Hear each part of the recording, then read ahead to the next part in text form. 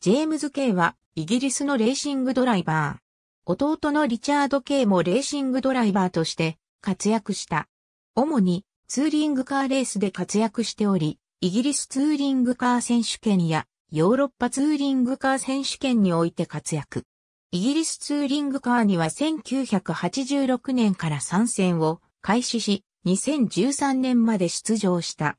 2002年には、ホンダシビックタイプ R でプロダクションクラスのタイトルを獲得した。1992年と1994年には、インディペンデントのタイトルも獲得している。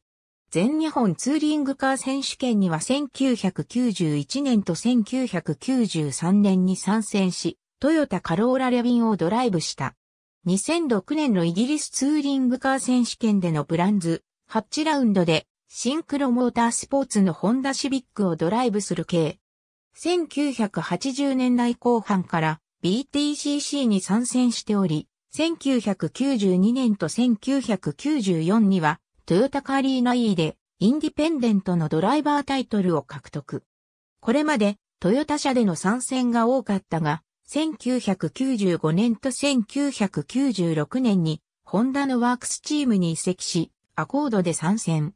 2000年の BTCC 復帰以降もホンダ社で参戦を続けており、2013年まで参戦を続けた。レースのポールポジションを示しているから1987、イタリック帯でレースを最速ラップドライバーが少なくとも1ラップでレースをリードすることを意味します。K はクラスで優勝しましたが、レースを始めたクラスが3台未満だったため、ポイントを獲得できませんでした。ありがとうございます。